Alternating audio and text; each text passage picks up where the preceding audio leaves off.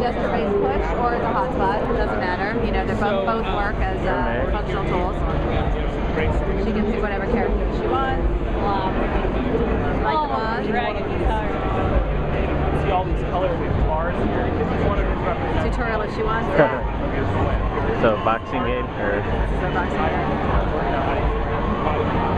Everything designed it has. We are on our, we are on games. Of course, we use our own middleware.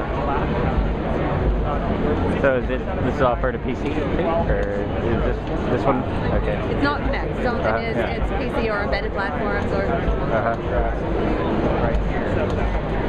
so she's blocking and she's punching.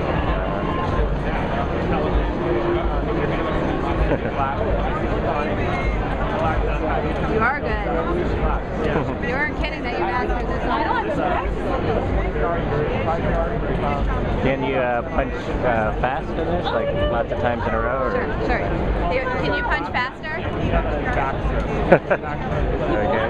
So it's not. Uh-huh. The only limitations are the front frame rates of the cameras themselves. Uh-huh. Could it actually go faster and sort of more responsive than Kinect does then? Or? This is actually the, the uh, a similar camera. Uh-huh. It's uh, 30 frames a second, so Uh-huh. if you move up to a 50, a 60 frame per second camera, it'll go faster. Uh-huh, But it's, okay. I don't know what other lags Kinect has built into it.